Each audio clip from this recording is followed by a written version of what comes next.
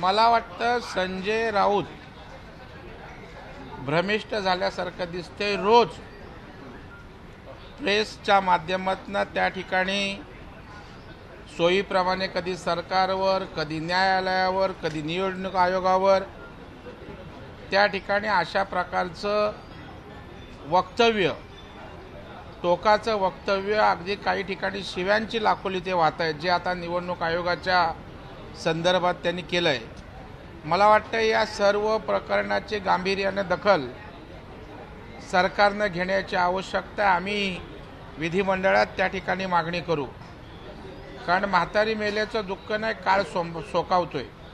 कारण बेलगाम संजय राऊत झालेले आहेत आणि ते ॲडिक्ट झालेले आहेत. की अशा प्रकारच्या शिव्या दिल्या अशा प्रकारचं बोललं की प्रसिद्धी मिळते आणि आपण जसे काही नॅशनल नमा होमिओपॅथीमुळे हजारो पेशंट्स तर बरे झालेच आहेत पण हजारो कुटुंबांना तुम्ही बरं करण्याचं पुण्य तुम्हाला मिळालं नमा होमिओपॅथी आरोग्य संजीवनी. हिरो होतोय. हा जो आविर्भाव त्यांच्या मनामध्ये यायला लागला आहे तो मला वाटतं त्या ठिकाणी त्यांना अशा गोष्टी करायला प्रवृत्त करतो. निश्चितच या सर्व प्रकरणाची दखल राज्य सरकारनं गंभीरपणे घ्यायला पाहिजे. आणि संजय राऊतांना अशा प्रकारच्या शिव्यांच्या लाखोली वाहण्याची जी काही त्यांची सवय जडले ती थांबवण्याची आवश्यकता आहे. सर होळीच्या शुभेच्छा खास करून संजय राऊतांना होळीच्या शुभेच्छा कशा प्रकारे संजय राऊतांच्या अशा प्रकारच्या विकृत मानसिकतेतनं येणारी वक्तव्य होळीमध्ये त्या ठिकाणी जळून जावो आणि नव्या दामाने संजय राऊतांनी सामाजिक क्षेत्रात राजकारणात काम करू अशा शुभेच्छा आहेत. आणि मला वाटतं शिवसेना सगळी घालवली धनुष्य घालवला आणि शिवसेनेचं नाव पण घालवलं.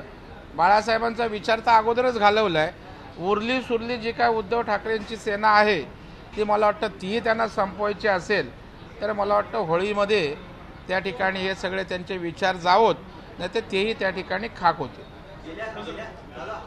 तू हिंदी बोल. नाही मला वाटतं या ठिकाणी आमच्या कोणाच्या रंगबेरंगपेक्षा महाराष्ट्राचं चित्र आणि रंग त्या ठिकाणी योग्य पद्धतीनं होण्याची आवश्यकता आहे.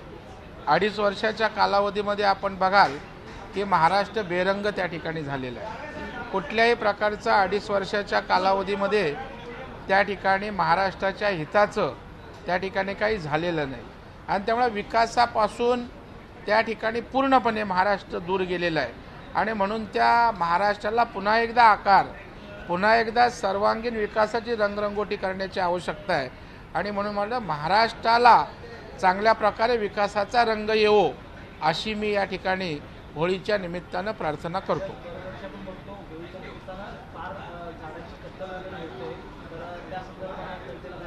नाही मला वाटतं नव्या झाडांची कत्तल होता कामा नये पर्यावरणाचा ऱ्हास होता कामा नये परंतु जुनी जीर्ण झालेली जी काही सुकलेली वगैरे गावाकडे विशेषतः आमच्या कोकणापुढे लाकडं असतात त्या आधारे होळी करायला हरकत नाही परंतु झाडांची कत्तल होऊ नये.